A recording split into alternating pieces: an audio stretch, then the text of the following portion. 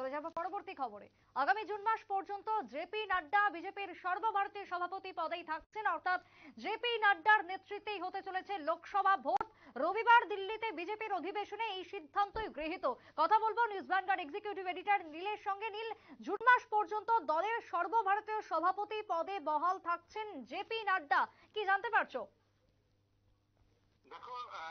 আগামী জুন মাস পর্যন্ত বিজেপির সর্বভারতীয় সভাপতি পদে বহাল থাকছেন JP Nadda.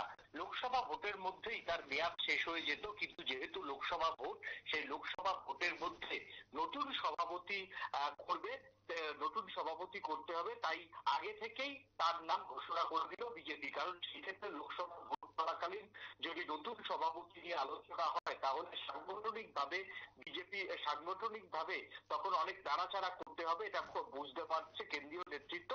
Lok Sabha vote change না হওয়া পর্যন্ত জেপি নাড্ডা তিনি সর্বভারতীয় সভাপতি থাকছেন লোকসভা ভোট হয়ে যাওয়ার পর তার নেতৃত্বেই মূলত জেপি নাড্ডার নেতৃত্বেই মূলত এবার লোকসভা ভোট হবে। লোকসভা ভোট হয়ে যাওয়ার পর তারপরে হচ্ছে জেপি নাড্ডাকে সরানো হবে এবং সেই ক্ষেত্রে অন্য কাউকে বসানো হবে। পাশাপাশি লোকসভা ভোটের পরই সমস্ত রাজ্যের সাংগঠনিক পরিবর্তন হবে এবং বিজেপির যে সাধারণ সম্পাদক, সংগঠন সাধারণ সম্পাদক, বহু রাজ্যেই সাধারণ সংগঠন সম্পাদক পদেও পরিবর্তন হবে।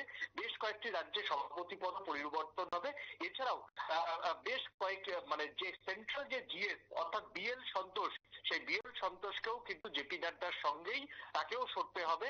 যে বিএল সন্তোষের জায়গায় দক্ষিণের একজন বিজেপি নেতা আসতে পারে বলে এখনও পর্যন্ত শোনা যাচ্ছে। অর্থাৎ বিজেপির যে তাদের যে মেয়াদকাল শেষ হচ্ছে লোকসভা ভোটের মধ্যে, এই মেয়াদকালের, এই মেয়াদকাল তারা পূরণ করছে এবং পূরণ করার পর যেহেতু লোকসভা ভোট, তাই লোকসভা ভোটের জন্য দিন পনেরো মানে এক দেড় মাসের মধ্যে এক টিমটা ভাঙতে চাইছে না। এই যে পুরনো টিম রয়েছে, সেই পুরনো টিম এই মেয়াদকাল পর্যন্ত থাকবে এবং তারাদের নেতৃত্বেই লোকসভা ভোট হবে।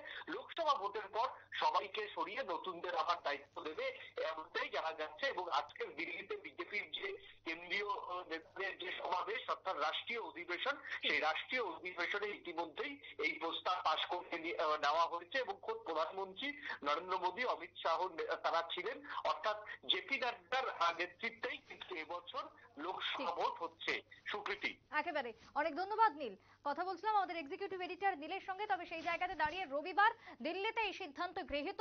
জেপি নাড্ডার নেতৃত্বেই আসন্ন লোকসভা ভোট হবে অর্থাৎ জুন মাস পর্যন্ত তিনি তার দায়িত্বে বহাল থাকবে বলে খবর বিজেপি সূত্রে।